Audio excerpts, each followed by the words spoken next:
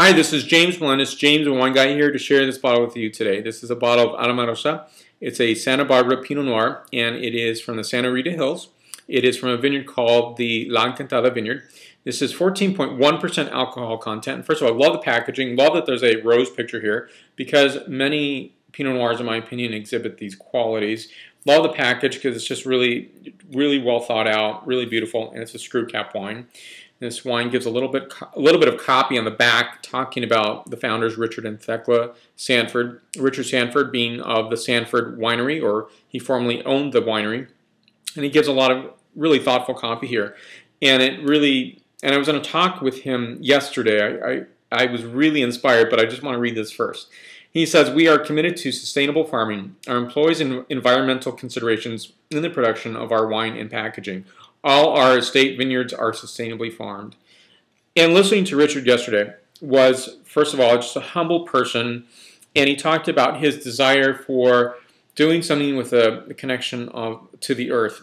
He graduated from UC Berkeley with a degree in geography, and he talks. He gives a little bit of um, points on. Well, it, it was about finding the, the perfect place for Pinot Noir in California. And previous to that, they were, Pinot Noir was planted in really hot regions, regions that just Pinot Noir just didn't thrive in. And he has discussion, or he had a discussion with one of his cohorts, and it goes along the line that, well, you could have the most perfect soil because the other person was just saying, oh, you just need to find the right soil. And he was saying, well, you also need to have the right climate. He said you could find the most perfect soil in the Mojave Desert, but could you grow Pinot Noir? Well, the answer is obviously no.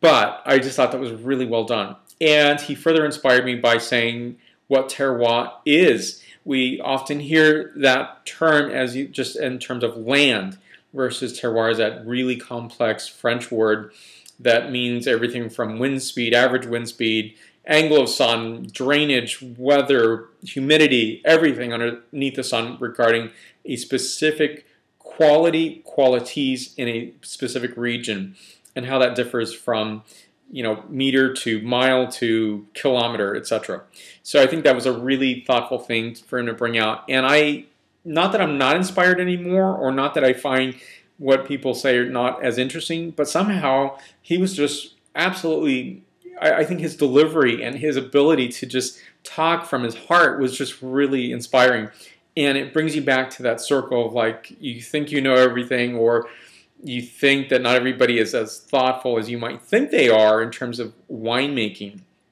And you're reminded once again just this complete desire for producing amazing pinot noirs. So let me get to the wine and i'll take a little taste and tell you what it's about.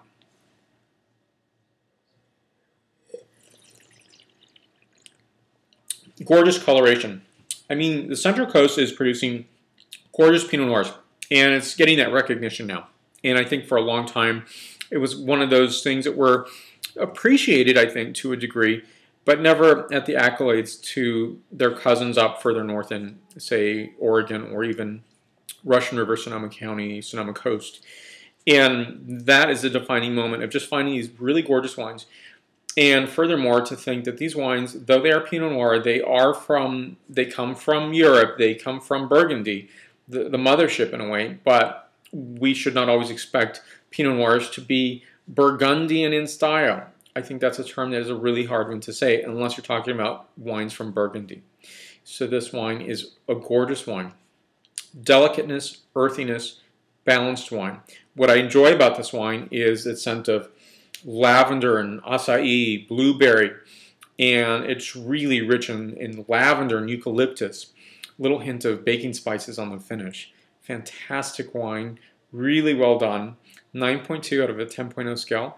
And for more wine reviews, please go to jamesthewineguy.com. Please subscribe to my videos on YouTube. I'm on Facebook and Twitter. And here's a salute to you, demystifying one bottle at a time. Salud. Thank you.